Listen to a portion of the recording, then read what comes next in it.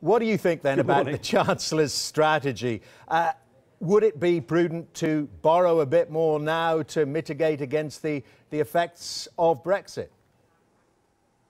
Well, I think the first thing is we're not clear yet what the effects uh, of Brexit itself are going to be. I mean, insofar as the Chancellor has got a worsening uh, financial position, it's as much to do with the change in bond yields as it is anything else and the increased cost of government borrowing. Um, there is going to be an increased cost of borrowing. There is going to be a larger deficit uh, than was previously intended. Uh, and insofar as that has a counter-cyclical effect and helps us to smooth the path, that's probably a necessary thing. But I don't think he should let go, nor we should let go, of the necessity of living within our means. And that means we have got to bring the budget back towards balance, and we can't let that go on forever. But could things for the Exchequer be even worse? These uh, 60 MPs today pushing for a so called hard Brexit, no access to the European Economic Area, no customs union, no single market. What's your guess, your estimate about the effect that would have on UK trade? Well, this is, I think, an area where we do need to get um, a, a sense of where we're going, and we need to get it quickly. Uh, I mean, the, the referendum took a decision. It was to leave the, the European Union. Uh, in that sense, actually, where uh, my Conservative colleagues in the Commons, I think, are saying something that people would generally agree with, um, as a matter of necessity, that I think means we can't be in the European Economic Area because we would end up uh, subject to European rules, subject to the European Court of Justice, paying into the European budget uh, and uh, getting the rules made for us by the rest of Europe uh, rather than being our participant in making those rules. So I think that's understood. The question, however, that they wrap up with it is whether or not we're in the customs union. Uh, and I don't want to get uh, bogged down in the detail too much, but actually, um, people didn't decide to be out of the customs union. They decided to be out of the European Union. And it is perfectly possible to have a customs union while we are not actually subject to all the uh, other aspects of European Union legislation which people want to get out of. And within all this discussion about uh, money and the Brexit campaign, something you know an awful lot about, of course, the, the NHS. Uh, a lot more money was promised for the NHS if Britain did exit the European Union. There doesn't seem to be an awful lot of money around, but it, it sorely needs it. How much would you suggest? Well, I was very clear. I talked to the NHS providers uh, last month, who, of course, are right at the front line uh, of uh, dealing with the current financial situation in the NHS. Uh, and yeah, the government is providing more money to the NHS during the course of this Parliament, uh, but unfortunately, demand is rising faster than the money is increasing. Uh, and the public, you know, all of us out there as voters were told, whichever way we voted, uh, there was going to be more money for the NHS, either because we had a stronger economy or because uh, we had the benefit of not having to pay into the European budget, or potentially both. Now, uh, to me, what that means is toward the end of this Parliament, at the point at which uh, our contributions to the European Union reduce, there is an expectation on the part of the public and the NHS that there should be an increase. And I think actually by the end of this Parliament, in order to put the NHS on the right path for the future, it will be something of the order of £5 billion extra a year by about that stage.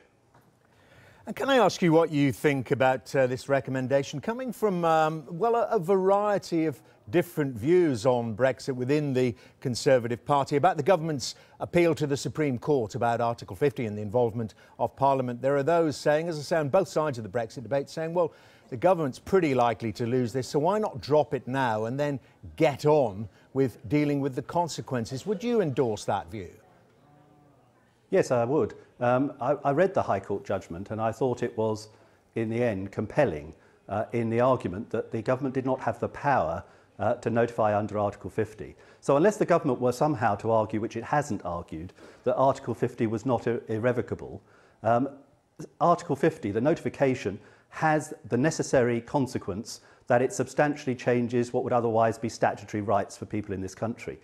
Now, they voted to leave the European Union, but the actual process, the power to do it, it's nothing to do with politics, it's to do with statute. The statutory power does not exist for the government to do it, and it is a long established convention that the use of the Crown prerogative should not override statutory rights. So, do so you they think should, it, they should get on? All right. I mean, but if they do get on with it, do you think it would just take a, a bill of a couple of lines saying you're authorised to, to go ahead yes. and trigger Article yes. 50? That's, that's it? Yeah, I think, yeah, I think you're absolutely right about that. And I, I don't see why the government doesn't get on, because in my view, uh, both the House of Commons and the House of Lords will pass a bill that gives the government the power to notify under Article 50.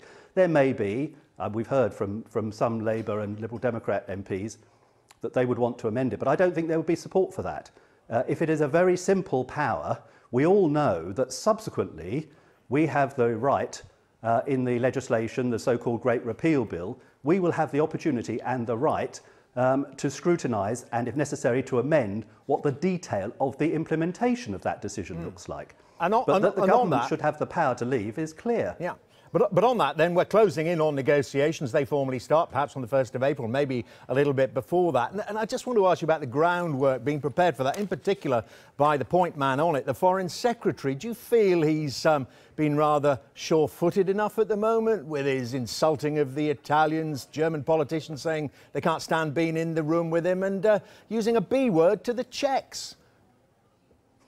Well, um, I mean, the truth of the matter is, uh, it's the Prime Minister who's going to lead the negotiations. Uh, let's not kid ourselves about that. She, David Davis, Boris Johnson, Liam Fox, um, Philip Hammond, there is going to be a collective um, decision by Cabinet, but it is the Prime Minister's lead that really matters. She's been very clear, I think, that uh, and she actually has a lot of confidence in her on the part of her European colleagues. They've dealt with her. They knew how, for example, I knew personally, I could see how she dealt with the uh, thorny issues of justice and home affairs and struck a pragmatic decision.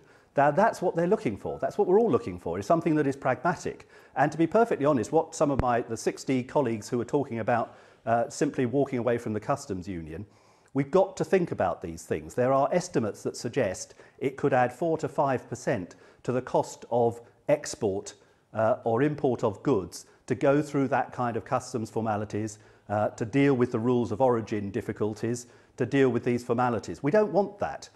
We, we may be able to avoid it. And frankly, most people I talk to um, don't think being out of the customs union for the export and import of goods and complicated supply chains that we have at the moment makes sense. But I think we can be in the customs union, but still have control over freedom of movement, uh, have control of immigration. We can, we, it does not necessarily require contributions to the EU budget, and it doesn't necessarily require uh, control by the ECJ. And in fact, the issues that really matter in the negotiation will be about immigration, about budget contributions, and about how we cooperate with Europe in terms of setting standards, making laws, and resolving disputes. Okay. That's where the negotiation should take place. And I think this thing about getting out of the customs union, that really is cutting off our nose to spite our face. We want access to the single market, and for people who manufacture goods in this country, being in the customs union is a no-brainer.